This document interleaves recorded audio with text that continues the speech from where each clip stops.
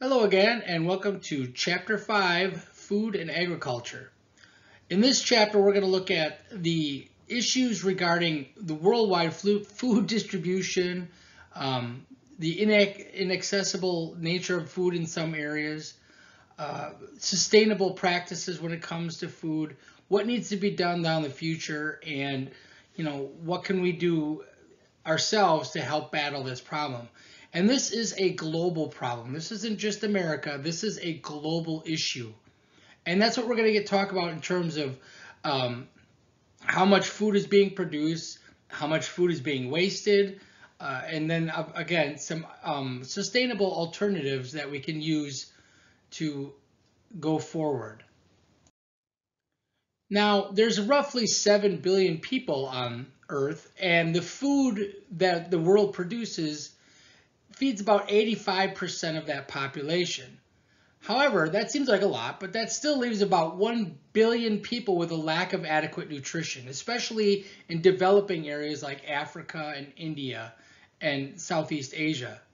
It's just not producing enough food to meet the current needs of consumption.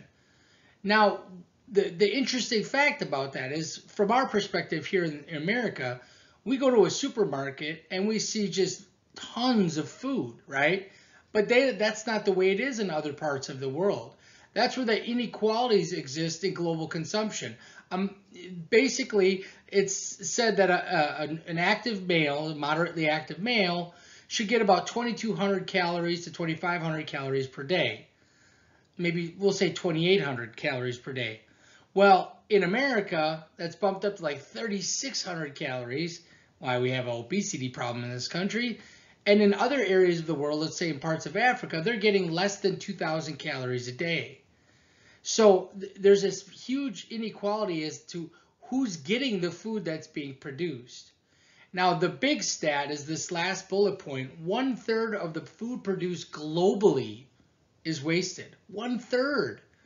Now, I would be lying if I said my family doesn't waste a lot of food. I, I do all the cooking in my family and it drives me nuts. But unfortunately, other than my oldest son, nobody, I, I, me, my oldest son will eat some leftovers, but my youngest son and my wife won't touch them. So I throw a lot of food away, a lot of food. But globally, I mean, this is a huge issue with restaurants, with everything. It's just a massive, massive problem. One of the issues being tackled, especially here in America, are what is, are known as food deserts. And you can see this map here that shows um, the, uh, where the food deserts are. And what a food desert is, it's an area within an urban or a rural area that doesn't have access to um, fresh, healthy, affordable food. And this is a real issue. Now, in my day job, so to speak, I teach what's called GIS, which is partially making maps. And I, have seen this map here before, and what this is, is showing where these food deserts are. Now, what this means is, um, and how it uh, relates to, let's say, the obesity problem here in the United States is there are areas that don't have fresh fruits and vegetables. Their only option is a convenience store that has pre-packaged processed foods. So that's all they eat. You know, they think chips and snacks and soda and all that kind of stuff. And that's literally their entire diet because they don't have the same access to walk into a supermarket maybe and uh, see you know fresh fresh fruits and vegetables. Now you can see from this map that a lot of the the very uh, troubled areas are in the south and southeast and the Appalachian area as well. So this is an issue that's been trying to be tackled from various areas trying to encourage businesses to move into these areas that, you know, at least semi close to where people could maybe travel a short distance or even a medium distance to get to fresh foods, uh, fruits and vegetables. So before we talk about the future of agriculture in the, the world, let's take a step back and look at sort of the evolution of how the agricultural systems have uh, evolved over time. So the earliest humans were hunter-gatherers or foragers. Now hunter-gatherers are just that. They'd go out and they'd hunt animals and um, foragers are looking for uh, fruits on trees or berries or mushrooms or things like that, foraging for whatever they could find. And then eventually around 10,000 years ago, um, the evidence shows that humans began to garden in the forest. Um, plants were cultivated, so replanted with seeds and to allow them to grow. Ultimately, this became sort of the domestication of forage plants, creating, uh, and because the plants stayed still, now the people stayed there as well. So back in the early hunter-gatherers, they would follow the herds. They were nomadic. They would move around. But once they started actually planting um, crops, they became more, set, the term is sedentary, or they stayed in one spot. The farms were small and remained that way until farming shifted from manual cultivation, as you can see in that middle picture there, with the uh, whatever that animal is uh, pulling the plow, to what we see now in the upper picture with the big, massive um, machinery that takes care of these huge agricultural farms. So because the machinery got better, the farms got bigger. And we're at the point now, again, where these farms are just massive. You know, and they, you know, they they produce enormous amounts of fruits, grains, and vegetables and things like that. Starting in the post-World War II era of the 1950s, the Green Revolution development of sort of this notion of um, industrial food production.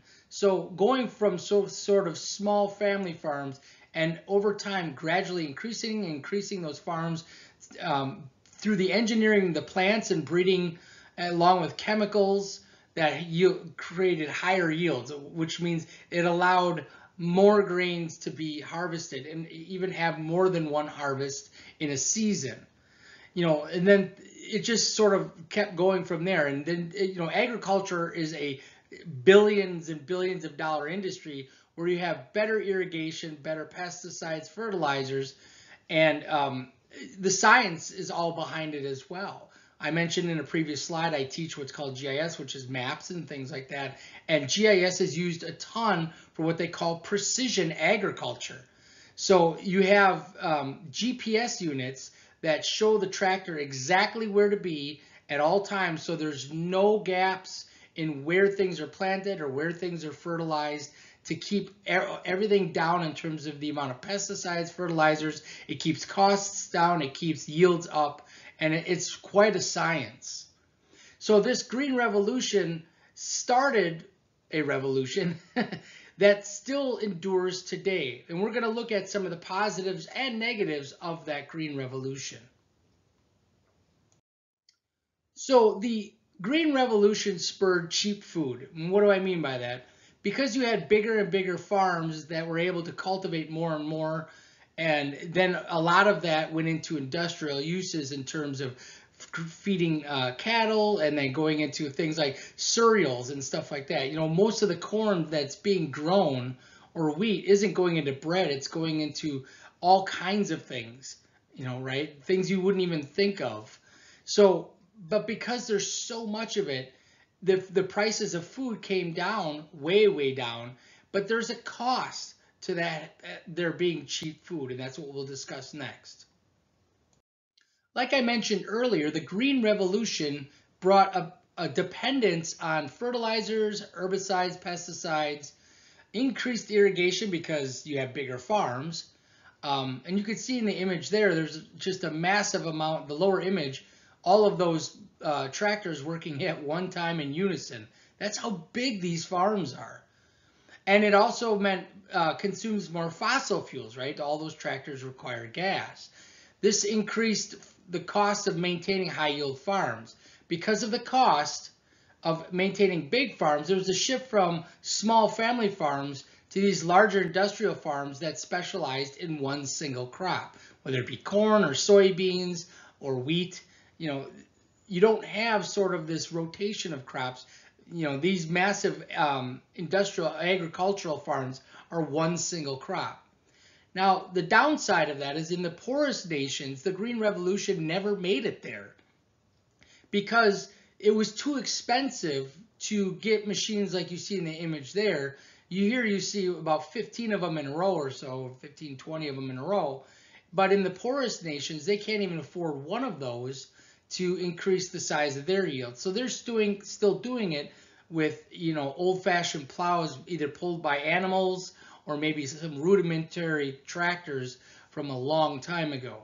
So the, the Green Revolution was great for us here in the industrialized world, but for the poorer nations, it didn't reach it there at all because they can't afford that mechanized farming. Starting in the 1970s, there were policies that were changed when it came to farming that allowed agribusinesses and um, to grow exponentially, creating more cheaper food and consistent raw materials for food processing. This includes things like the fast food revolution, McDonald's, the Burger Kings.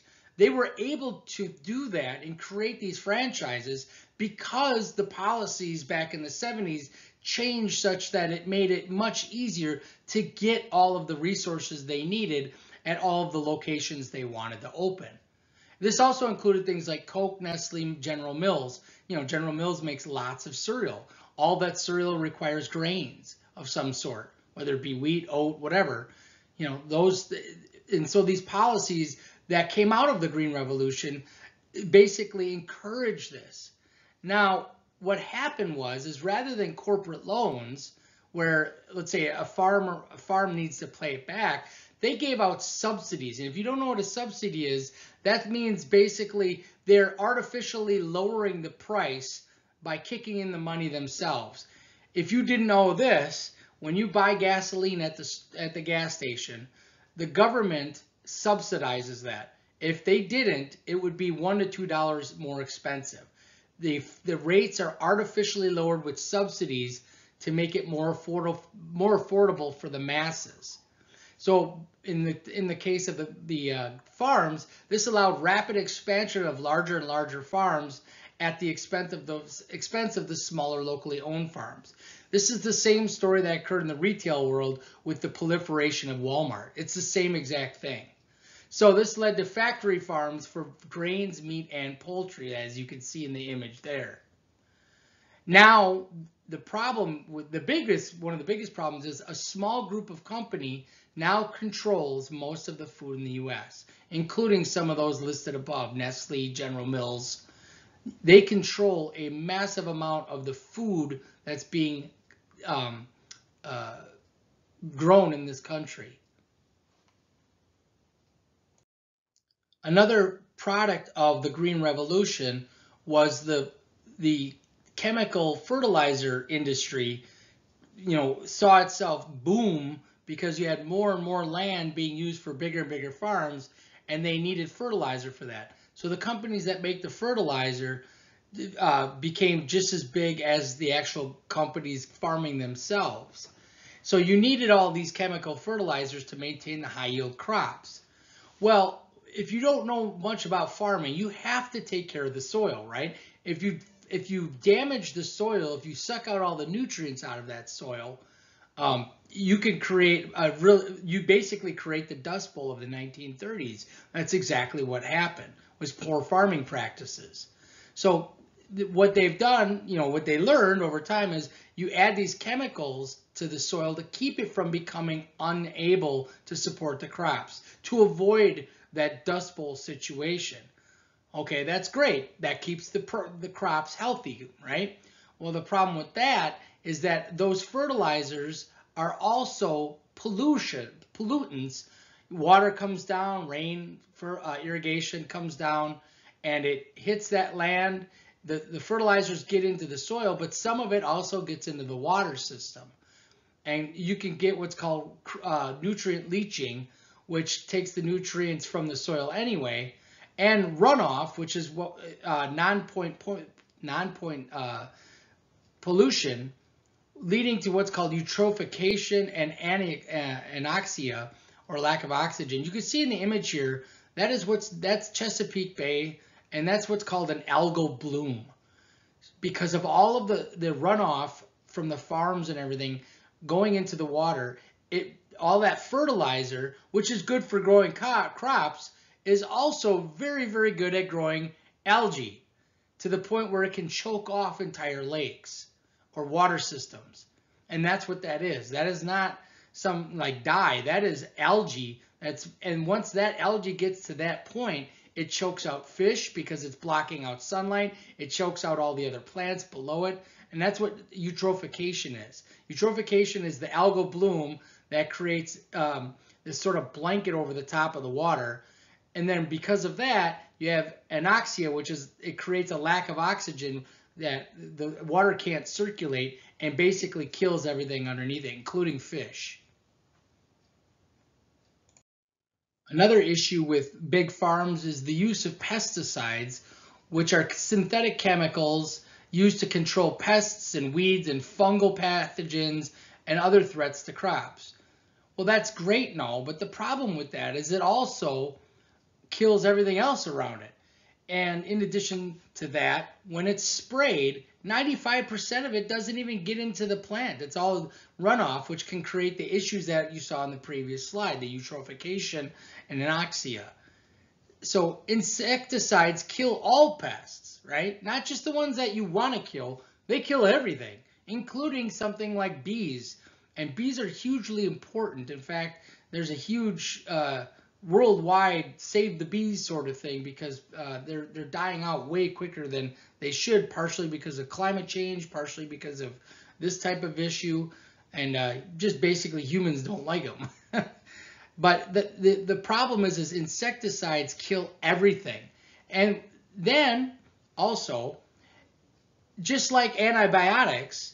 Um, if you use too many antibiotics, your body develops an immunity to it and the antibiotic doesn't work. Same thing occurs with pesticides. The pests that you're trying to kill grow an immunity to the pesticides, which means you have to use more pesticide. So it's like a snowball effect. And pesticides are highly toxic. So they, they can get into fish, they can get into any animals that ingest them, and it goes through the food chain.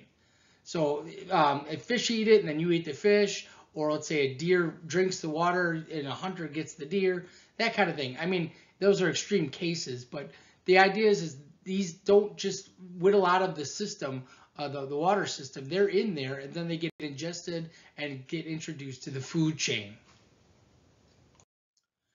This slide here was kind of an eye-opener for me when I first started teaching this course, which is the loss of crop and genetic diversity. Now let's read this first bullet point here. There are 250 to 300 edible plants that we know of in the world. Yet only about 20 of them are the bulk of the human diet, including rice, wheat, corn, soy, sorghum, barley, beans, and several root and fruit crops. So out of nearly 300 varieties, only about 20 of them actually make it into our diet. That's pretty crazy. And then on top of that, if you just look at the US, that's worldwide. If you look at the U.S. by itself, it's even less in terms of it's dominated by corn and soy. And you know, I you don't think of that, especially soy. A lot of people don't think about soy. It's used for grains, you know, soy. It's used in all kinds of things, including feed for animals. So they feed off these crops. So that's why there's so much grain and soy um, grown, especially across the you know, the Great Plains, Kansas, Nebraska, the Dakotas. It's all wheat and soybeans. Over the course of the human history, the, the number of crop varieties has dwindled. And there's an image in the book that shows like 25 or so different potato varieties. We might eat three of them in this country, maybe four. That's it. You know, you got your regular sort of baked russet potatoes. You got Yukon Golds. You got little red potatoes. And sometimes you can find purple potatoes. Those are interesting too. They make good potato chips. But other than that, even though there's way more variety, there's red potatoes, not sweet potatoes. That's something else. I'm talking. Uh, that's actually a tuber, I think, or some. It's some other genetic. It's it's a different plant altogether. But it's just weird that uh, as we've evolved as humans, especially in this country with the the massive farms and everything, the number of, of types of food that we eat has dwindled down to just a handful. In the previous slide, we looked at the fact that there's only maybe a few varieties of plants actually being grown and eaten. Let's take that now and look at it from a global agricultural perspective. Because there's better refrigeration, we're able to get um, season fruits that are always out of that may be out of season all year long. Something you know like a pineapple or you know some weird uh, tropical fruit. We can get them all the time because they're able to be shipped much more efficiently than let's say 100 years ago. Now these transported foods are at the, the expense of cheap labor and uh, environmental uh, relaxed environmental constraints in other countries. What do I mean by that? You know, you go to other countries and they're getting paid pennies on the dollar, pennies per hour. They might make two, three dollars a day. And, you know, we don't see that part of it, you know, like in bananas and things like that. Um, and then obviously there are practices in within the cultivation of it and the transportation of it that go above and beyond what you know you would be able to get away with in this country in terms of environmental regulations. And like I mentioned, bananas are a perfect example of an exotic fruit. They're not found in this country, maybe down way down in Florida, but I, I don't think so. But yet they're a mainstay in our diets here in America. And because of this, bananas have grown. There, they've there's areas that have had wars over this and power struggles over bananas because it's become such a huge money-making export. And that's why they where the term Banana Republic comes from, not the clothing company. It came from Banana Republic, the fact that these these countries were fighting with each other over who was going to get, you know, the bigger banana plantations. So a typical plate of food in the U.S. accumulates 1,500 miles from source to table. Think about that for a second. Let's say I'm here in Milwaukee and I want to have a live Maine lobster. How far is Maine from here? And not only that, once you get to Maine, you're probably offshore even more miles to get that lobster. Or maybe Alaskan king crab, like the show that used to be on, or may still be on, I don't even know. You know, that food is traveling a very long distance to get to us here in the in the Midwest. Any type of seafood, tropical type thing like that. So 91 cents out of every dollar goes to the distributors, the marketers, and etc. With only nine, roughly nine cents out of every dollar going to the farmers. That's insane. That's that's crazy. But that's the the the uh, the entire network that's been set up with the food because again Americans want what they want when they want it. So if I want a banana and I go to the grocery store, they better have bananas. And those bananas just travel a long distance from South America and Mexico to get to me. So that's why, and that's a big, what plays a big role in that is the increased transportation requires fossil fuels, and all that transportation has increased the amount of greenhouse gases. Now, that's not the only thing creating greenhouse gases, but there are always planes, trains, trucks, cars carrying food everywhere. You see them all the time to restaurants to supermarkets. Okay, the, the, food is always in transit 24 7 365 and it's always being transported in gasoline type vehicles or planes or trains or whatever it is. So yes it is it's a huge role in the greenhouse gases being emitted. You can't discuss global food issues without discussing meat and animal uh, product consumption. Now I eat meat. I'm not a vegetarian, so I'm just speaking from the perspective of what's going on, not necessarily that I've taken big steps to help fix it myself. So I don't want to want anybody to think, you know, I'm not trying to sound like a hypocrite here, but meat consumption, especially in developing countries, has tripled because those countries are developing themselves, especially let's say a middle class. And then because of that middle class, they want better meals. And those meals often include meat. It's no different than in this country, country with things like steakhouses and stuff like that. The problem is, is that it's a known fact that meat and animal products require more resources and land compared to crop resource production. Because not only do you need the crops to feed the animals, you need areas for the animals to roam and graze along with all the water that goes with it and the land.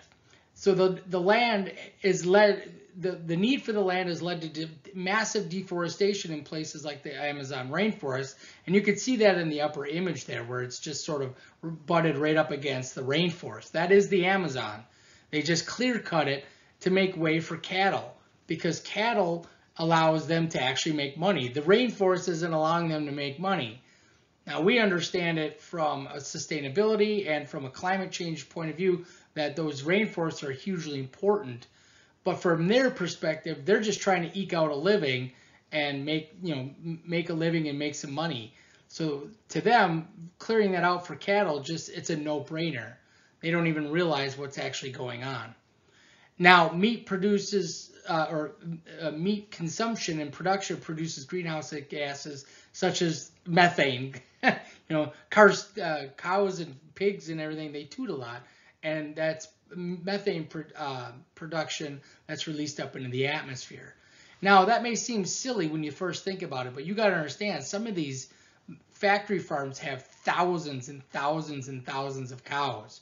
And then you take that and you put it all over the place. You're talking millions and millions, even here in Wisconsin, we're the dairy state. We got a lot of cows in Wisconsin. That's a lot of methane being generated.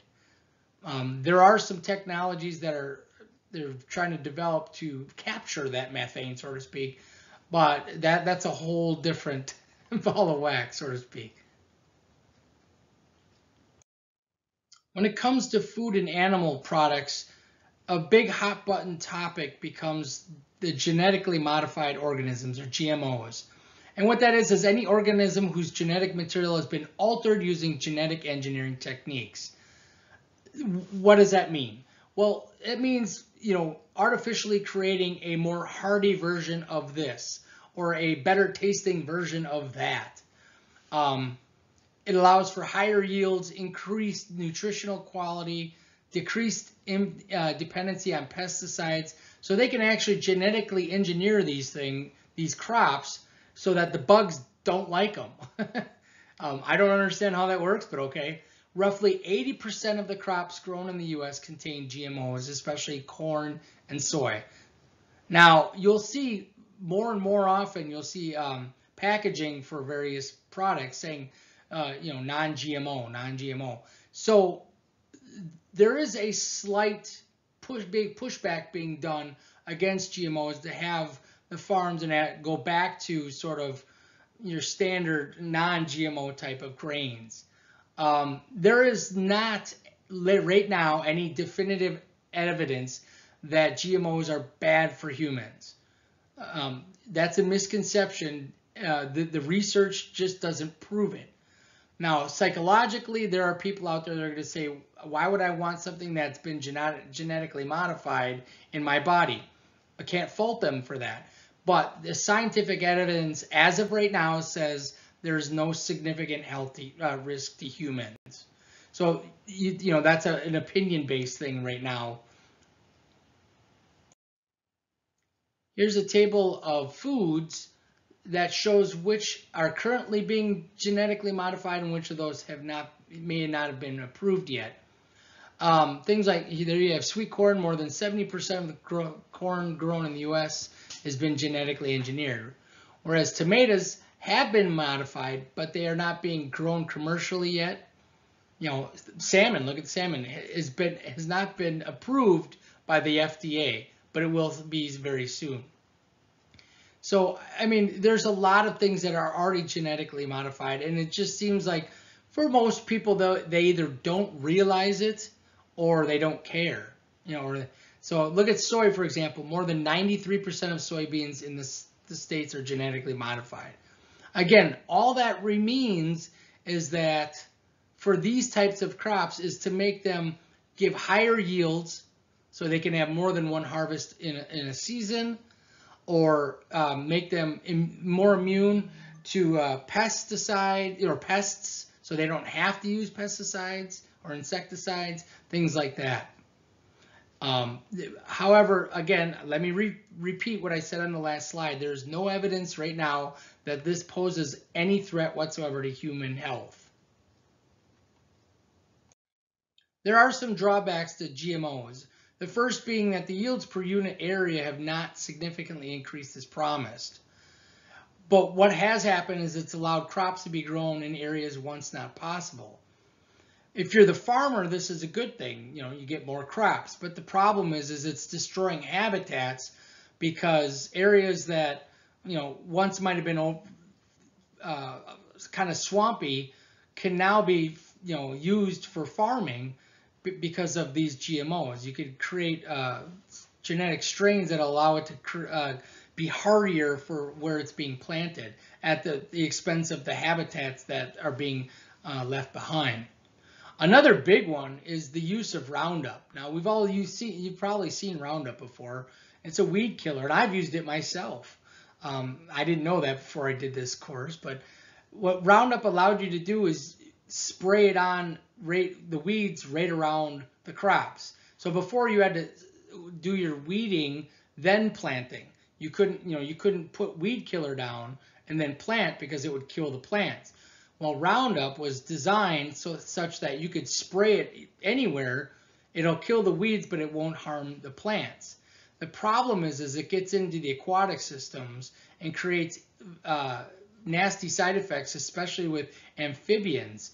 And then on top of that, to make matters worse, it's been linked to cancer in humans as well. Um, I think you can still buy Roundup, but there's definitely a big warning label on it now. And I've seen those goofy infomercials with, you know, have you used Roundup and all this stuff. So um, be aware, but that's what, you know, that was one of those products that was de designed to do something good and it had unintended consequences. And finally, you have something called transboundary pollution, kind of like what we talked about with air pollution, but with GMO markers. What does that mean? That means, let's say you have wind or erosion and bits and pieces of genetically modified material are blowing over into a farmer's field next door who has said, no, I'm not going the GMO route, and they can get into his farm. This has happened. It is an issue. Um, all it takes is, you know, a little bit of germination or pollinator or something like that to take a GMO product, move it over to a field, and all of a sudden now that GMO will start to spread over time into that field as well.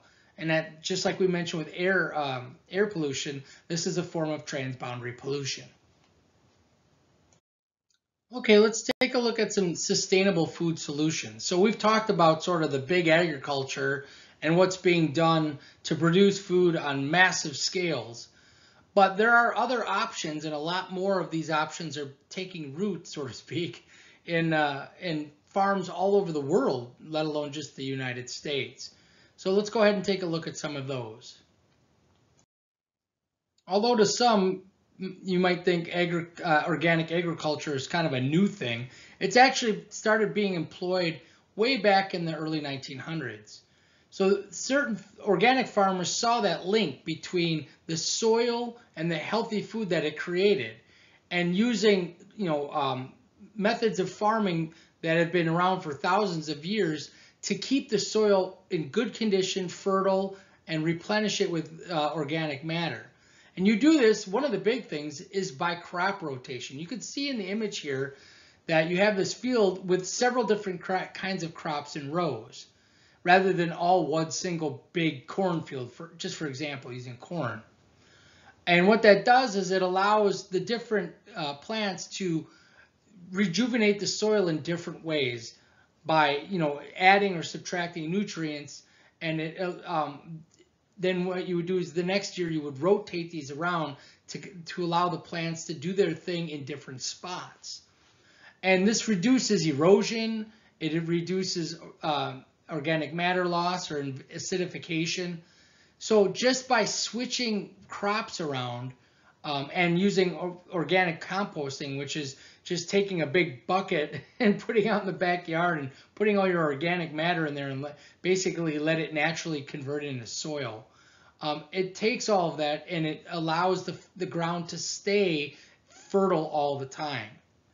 And it eliminates the use of fertilizers and pesticides because you can use other things like you can use uh, cover fabrics or insecticidal soaps and oils, um, which are uh, they're sort of a natural oil, or even dead bacteria to help keep everything at bay, all those little nasties.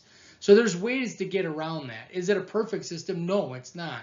But there, you know, organic food is just that. It's the, the, the definition of it is that it's untouched by man, so to speak. So they're they're not spraying anything on it. They're not doing anything like that. They're letting everything grow naturally, and then using things like crop rotation and um, uh, organic composting. It allows the true flavors to come out. It, allow, it allows the soil to stay fertile and allows everything to uh, sort of keep everything rolling without the use of much by man. Anytime you have a shift in sort of philosophy for anything, you're going to have questions raised. And there are people out there that are skeptical about the concerns, you know, about organic farming in general. Are the crops actually healthier? Well, there have been many studies done, and there are certain aspects um, that come with eating organic foods. Are the nutritional values higher? I, I honestly don't know. I'd have you'd have to go look in the research, but just from a sort of a, a background look, you can imagine that you're you're not going to come into contact with some of those insecticides and pesticides with organic foods. Is organic farming better for the environment? Well, you'd like to think so because organic farming by definition is allowing the food to take hold on its own and utilizing those techniques to keep everything fertile. So you would think it would be better for the environment. It requires less irrigation, less tilling, all of those things. Can organic agriculture generate yields needed for existing and rapidly expanding populations? Well, the answer to that, at least right now, is probably no. Um, the thing with the big uh, farms, you know, the big agri uh, factory farms, is that they have the ability to do things on such a massive scale, whereas organic farms just don't have that because it requires more labor, hand labor, you know, human interface uh, interaction rather than uh, mechanization. And uh, so probably not. However, there are many more options. And with more people delving into organic farming, there are a lot more choices, which you could go all the way back to the, the slide where we talked about food deserts. And that's one of the things that's taking place. You're, you're finding organic farming in urban areas, urban farms. They'll find little plots of land here and there, and they'll do this and bring it to a, a place that would normally not have uh, available fruits and vegetables. So will it feed everybody worldwide? Probably not. But does it help? Absolutely. Are organic crops healthier? Like I mentioned in the previous slide, there's a lot of debate over that. Um, the, the main thing, like I mentioned, is that they have less pesticides residue than sort of processed foods. Um, that's the main thing. You know, uh, nutritionally, they're probably about the same. Um, that you know, but you have to know that you're getting that if you're not buying organic, or to make sure you're washing your fruits and vegetables off before you eat them. That's a big thing, obviously. Um, I'm I try to do that all the time. I do forget sometimes, I admit, um, but uh, that's the main thing that's come out of a lot of the research is not necessarily is there a better nutritional value, but you don't have those uh, pesticide residues, all those chemical residues on the organic food. There is considerable evidence, like I mentioned earlier, that organic farming is better for the environment. I mean, it, it makes sense. You have la you don't have all the toxic chemicals that are used that create non-point pollution, and you have lower fossil fuel usage because there's less mechanization. It's more done by hand on smaller plots of land. Um, and another huge one is organic grass-fed beef systems have reduced fossil fuel by 50%. So there's a lot of advantages in terms of the environment for organic farming. On this diagram here, we see the differences between conventional and organic farming compared to each other in different facets. So you have the yield. Yes, there are smaller yields um, for organic, but the, and the nutritional quality is roughly the same. You have reduced uh, worker exposure to pesticides and employment of workers, whereas you have fewer workers in the big farms because they have all the machines. You have better soil quality, you have better energy use, better biodiversity with organic farming. So there's a lot of positives. Um, the only slight negative really would be the only slightly smaller yields. Um, but you know, organic can hang. I know I mentioned earlier it's not there yet, but it can hang with conventional farming techniques as long as you have everything in place. You got to have obviously the workers to do it and everything else. Another alternative to sort of your typical uh, agricultural techniques are things like hydroponics, aquaculture, and aquaponics. So what are those? Well, hydroponics is a branch of uh, agriculture where the plants are grown without any soil whatsoever. The nutrients in the plants get dissolved in the water. So the, are, the, the, the roots are just exposed to nutrient-rich water, and they are suspended in that.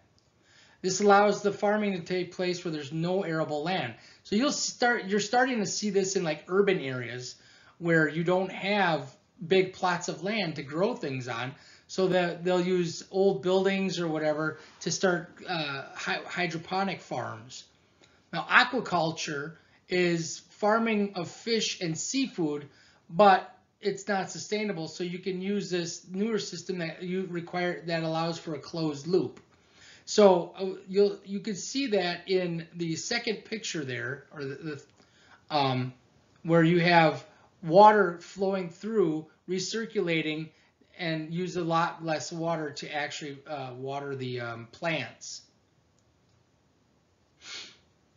So think of it sort of like plants sitting on a river and you just keep the river flowing. You use the same amount of water, you just add some nutrients to the water and the water keeps going around feeding all of the plants um, or the fish. And the same thing applies with aquaponics, which is a combination of plants and fish together. So you can see in that bottom picture, you have uh, plants being grown with fish at the same time. So the fish, you know, they pee and poop, right, in the water. That those are nutrients that the plants can use. So it's self-sustaining the fish are helping the plants grow and the water is helping the fish grow. So everything's sort of a, this closed loop and you're killing sort of two birds with one stone, getting both plants out of it and fish out of it. One of the things that's you know become quite popular, especially with you know organic farms, is buying local and small.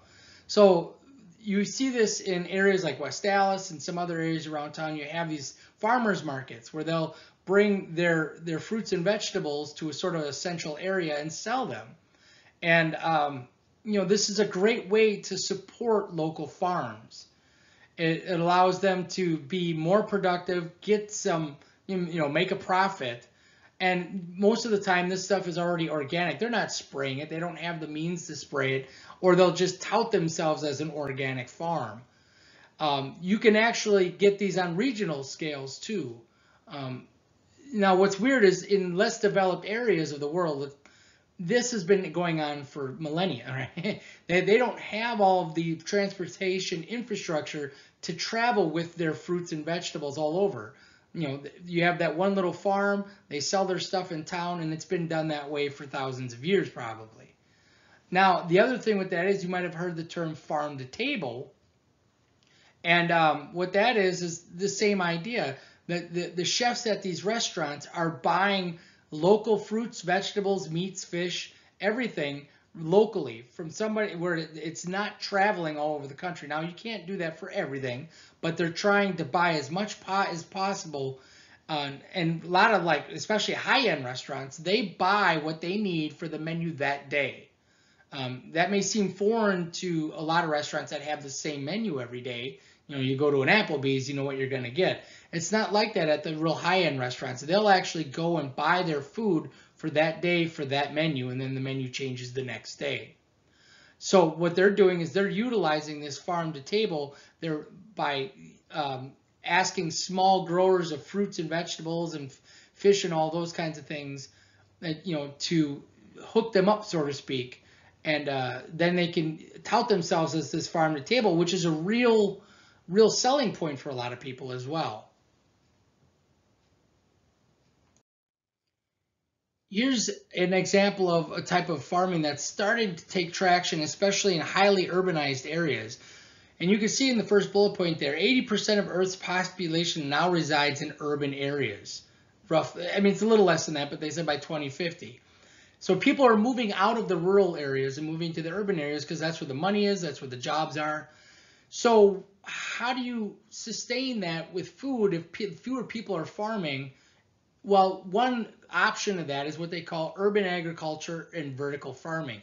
You can see sort of in the background image and in the inset image, these farms that are uh, utilizing verti the verticality going up as opposed to out and about and using hydro, uh, hydroponics, LED lighting, and uh, hydro aquaponics, excuse me, these sustainable closed loop systems that allow them to grow food without the use of necessarily the sun with the LED lighting, because uh, they're getting the same wavelengths.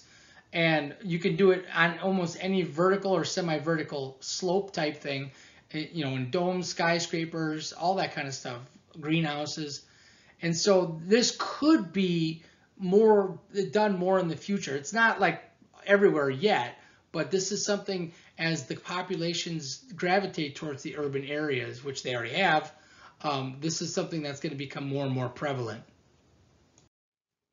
Let's change gears here a little bit here and talk about fair trade. There are certain crops such as coffee, cocoa beans, and bananas that are grown in very specific climates outside of our own country but are hugely popular here. I mean, everybody drinks coffee. I don't drink coffee, but a lot of people drink coffee. Not only are these popular um, in terms of what they're used for, like cocoa beans with chocolate and everything, but these crops are very labor intensive. You're talking picking bean by bean for coffee or bean by bean for cocoa beans. It's very, very uh, labor intensive work. Um, and then not only that, globally, the prices are depressed because there's such a, a flood of coffee. There's a flood of cocoa beans. So the prices are very cheap. Now, the whole goal to fair trade is to ensure that the, the people doing the work actually get a fair compensa compensation. Now, in years past, I mentioned er, in a previous slide the banana republics, where you had you know entire countries or regions going to war over the exports of these types of things. Um, you know, you want to be able to, what the connoisseurs have sort of demanded is that the people doing the work for to cultivate these crops are being treated fairly, including a, uh, uh, fair wages and labor conditions. And a big one that came out of fair trade is, you know, these making sure that child labor laws are being enforced, because there's, you know, protecting basic human rights you know, making sure that when you drink that cup of coffee, you can feel good about the fact that the people who picked those beans got paid to do so and paid to do so fairly. Now, fair trade also attempts to promote long-term business relationships. So you'll see certain roasters, you know, um, make agreements with certain farms because they are in a fair trade agreement. So this produces a win-win situation for both the, the, the producer and the buyer because then that way they both know that they're in this sort of long-term agreement. Now, the what is the I the um, the prices of these types of things are higher, and that's that is the truth. Fair trade coffee is going to cost more than non-fair trade coffee. However, those who are buying it are doing so to make sure that they're, you know, they understand that they're willing to pay that price to promote social justice, to ensure that, you know, they're getting paid fairly, there's no child labor involved, and there's environmental protections being met. So this is where a lot of this comes in. And, you know, it started really with coffee that I know of, but it's become even more prevalent with some of those other cash crops like bananas and cocoa beans because, you know, again, there's a lot of labor involved with those. Another alternative to sort of the big agriculture is something called permaculture. Now, you've seen this, probably seen this before with flowers, right? There are annuals and there are perennials. So annuals are flowers that you plant every year to make your area look pretty, and then they die, and then you got to replant them next year. Then there are perennials, which pop up every year, regardless of whether you want them to or not. I have some in my backyard that I actually covered over with rocks and stuff, and they bloop, popped right up right through all my stuff. Um, they're pretty when they happen, but uh, like tulip. Tulips are perennials. So the idea is, is to use crops that are perennial crops as opposed to ones that have to be uh, grown every year. And this now this isn't possible for everything, but there are some that allow that to do that. There are some crops that allow you to do that. And what this does is it allows the ground to uh, the the extensive root structure to stay there, which helps better soil uh, maintain better soil sustainability and water filtering things like that. So this is just it's a small thing. It's not done a ton, but it is an option as well as using plants that pop up every year as opposed to those that need to be uh, planted every year. I mentioned this earlier as well. You know, there's a growing movement on at least reducing the amount the the amount of meat you eat. Um, let's say over a week or something like that. Um, animals require a lot of food and water to keep alive, to grow and everything like that. They also need large grazing areas, which we talked about with the deforestation of the rainforest. And they produce things like methane just by eating the grass in their digestive system there is a difference that can be made just by reducing the amount of meat even a little bit would allow, reduce the amount of energy used to raise the animals. Um, you know, I am not a vegetarian, but I actually don't mind eating meatless meals. Um, for example, I make uh, I make um, manicotti or lasagna, and I put spinach in mine. I don't put meat in mine that was just a decision I made years ago with my wife, and we just I enjoy it. I, I like spinach. It's something I enjoy. So you know that's just one at, one option. Do I eat, we eat meat? Yes. Do we eat meat every day? We eat meat a lot, but you know there are sometimes you just want a salad or you want something light, and there's nothing wrong with that. You know maybe and it probably would go a little ways for someone like me who could probably use a use to lose a few pounds as well. Another option is to return to your roots as hunters, gatherers, and growers. Um, is everybody going to do that? No. And this contradicts completely the slide we saw earlier about roughly 80% of the people moving into urban areas by 2050. Um, the, the problem with that is, is it's really hard to go out all the time and do this kind of thing. Um, you know, a lot of people just aren't meant for that. You know, they're, they're just, over the course of human history, or at least in this country, we've grown to rely on things like supermarkets, gas stations, convenience, all of that. There are those that hunt. You know, here in Wisconsin, hunting is a big deal. It's not something I do. I have nothing against it. I just didn't kind of grow up with it. Um, and so, you know, there is something to be said. There's a huge market for things like fresh mushrooms and stuff like that that you see, uh, you know, up in the, the top picture there. Uh, you know, it, there's there's there are ways of doing this. However, you know, the problem is is you know to get out into the real wild, you have to be ways away from people and you have to have permission to do so. So just, you know, unless if you're out in the middle of nowhere, Alaska, or maybe areas in Montana, you can't just go, you know, shoot shoot animals. You're going to get in trouble by it. You're considered a poacher. So you got to be careful with that kind of thing. So this isn't, while it's a viable, sustainable option, it's really not a, a realistic one for most people in this day and age. Another thing that you can do for sustainability is allowing for food diversity. All that means is introducing foods into your diet that might not have already been there before. Um, to eat a wider variety of crops. Now this is a plus and a minus if you like them, obviously. Um, you know, there are certain things that are just not too hip in our culture that might be in another culture. And I, I wish I could remember what the that bottom slide was. I forgot what that is. But the top one you might recognize is quinoa or Quino. I don't even know how you pronounce it there's pluses and minuses to food diversity. So if you look at the third, um, you have benefits and, and, drawbacks. When people realize the nutritional benefits, then all of a sudden people you get on this kick, right? You know what? It used to be sun-dried tomatoes, which is I think what the bottom one was. Um, sun-dried tomatoes were all the rage. You don't hear about them too much anymore. Now it's all quinoa, quinoa this and quinoa, quinoa that, and um, the problem is, is the people that have eaten it indigenously for years, now they have to pay a higher price for it because there's high demand for it. So once, for example, you know, America has huge buying power.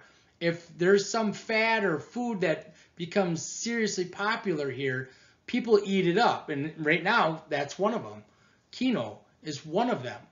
So the problem is, is that inflates the price. So people that have been eating quinoa for years, let's say in, in Europe or wherever it's grown originally, I think it's a Middle Eastern grain, um, they have to now pay a higher price for it because of everybody eating it here in our country. So it, it's it's a it's a weird dynamic in that regard. It's all about fads though. So you know, uh, there's a all that those those berries in the background had another um, story behind them similar to the quinoa. And I don't remember what those are uh, when I made these slides. I wish I could remember. Here's a slide that is both eye-opening and makes me feel a bit guilty, like I mentioned in an earlier slide. Let's read this slide. 1.3 billion tons, B, billion tons of food is wasted each year globally. That is a lot of food. Um, now, in our country, just speaking for the U.S., we waste so much food. Think about every time you go to a restaurant. You know, in America, we want bigger, better, better, right? So we get all this food with every meal. I'm not picking on Red Lobster because I absolutely love Red Lobster, but let's pick on Red Lobster for a second. You get the biscuits at the table. Those are really good, aren't they? You get the biscuits. Then you get a salad.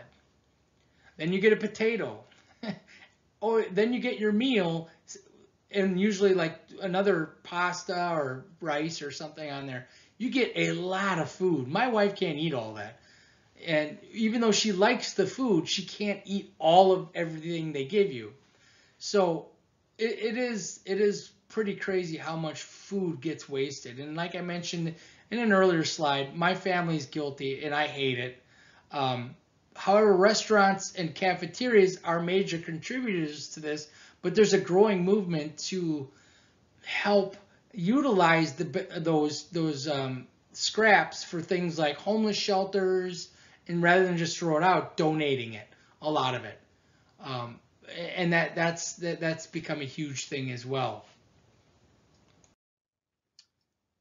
GMOs and sustainability kind of go hand in hand here. There has been it's been suggested that since GMOs work so well at creating high yield crops in areas like America, right, industrialized nations, why not bring that over to um, areas that don't have the GMOs?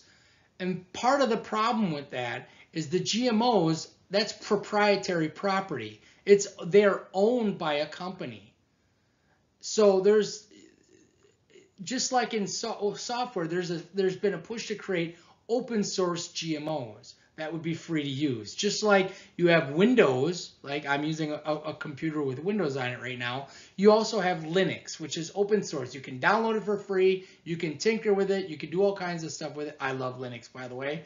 Um, and so that allows you to tinker with things. So that might be a viable option going down the road is uh, being able to have these open source um, uh, GMOs.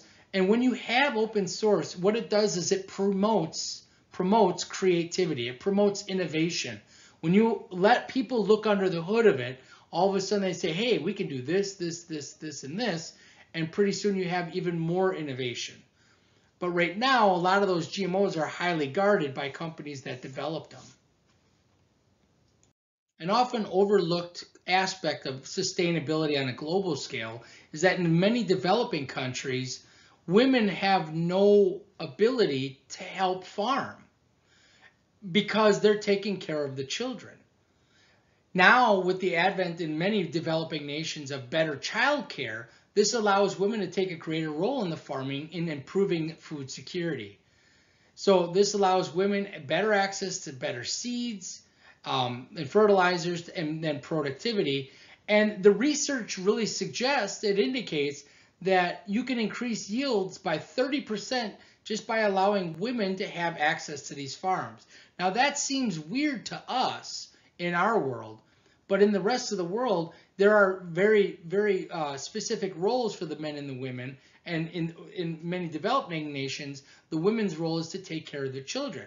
The men go out and do the farming or you know whatever they're doing. Well, the men can only do so much. You know, if you allow the women to help as well because the children are being looked after, all of a sudden you've just created a 30% increase in productivity, which allows for better food security, you know, allowing more crops to be grown. So again, this is a developing nation uh, type of thing, but it's definitely an issue in many areas. With the climate changing um, as we speak, there's lots of aspects to agriculture that need to be taken accounted for. You're going to have things like greater droughts or heavier storms, and areas like landlocked countries and oceanic islands are particularly at risk. If you have rising sea levels, that's the islands. Um, and if you have areas that are far from oceans or far from um, any sources of moisture, you're going to have longer and hotter droughts. We're seeing that actually in the western U.S.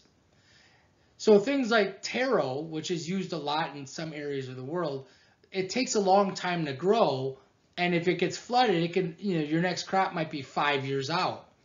So because of this, if that's your main source of food is this taro crop, then a, a good option for combating uh, climate change is um, crop diversification, introducing different types of foods that might be able to withstand the slightly higher, drier periods uh, you know, of higher temperatures in drier areas, or if something gets flooded, um, it won't take as long to recover from.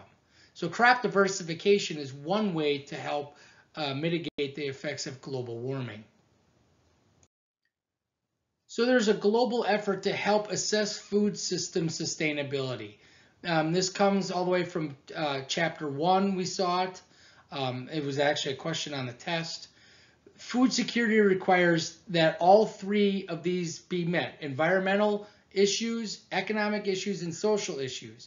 Now, that's always not possible everywhere, but the areas where all three of those are taken into account or generally have the best um, uh, sustainable food systems. Like here in the US, we have a good environment, we have a great economic structure, and we're not under some kind of like revolt yet. No, just kidding. We're not under any kind of revolt.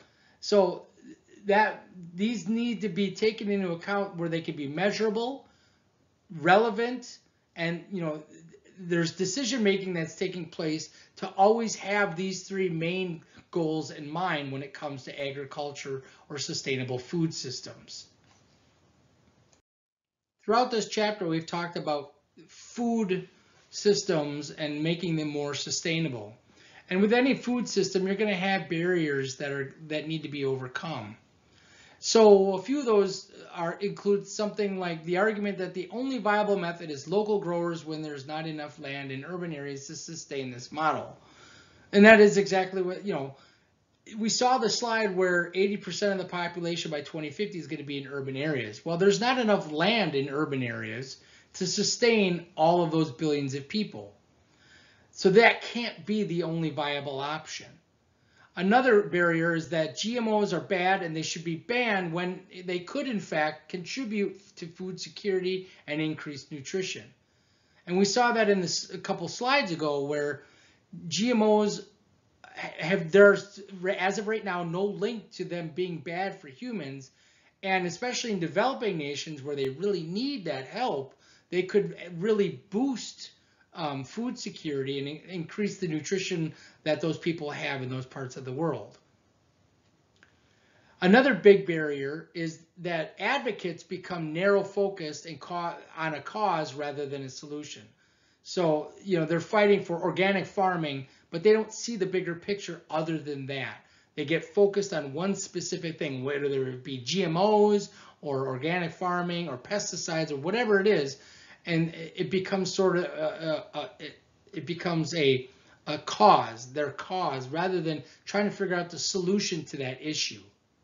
And finally, just blatantly dismissing big farms instead of trying to figure out how to make big farms more sustainable. Big farms aren't going anywhere. It's big multi-billion dollar businesses, all right, that feed the world essentially. However, there are probably ways that maybe have not even become available yet to make those farms better, more, you know, less reliant on pesticides and, and insecticides, better crop um, yields, better soil maintaining, all of those things. There, there's and they're working on that stuff. Like I said, the agriculture business is massive. It is huge. So in, in a nutshell, the best approach is to look at a wide variety of options and implement those that seem viable, especially for the needs of the people who are being directly affected by it. So for example, if GMOs are going to help those people open, like I mentioned earlier, open source GMOs to allow higher yields in areas where they have little or no yields now, that's a no-brainer. Let them have at it. Get those seeds in there, get planting, and let them you know get the food.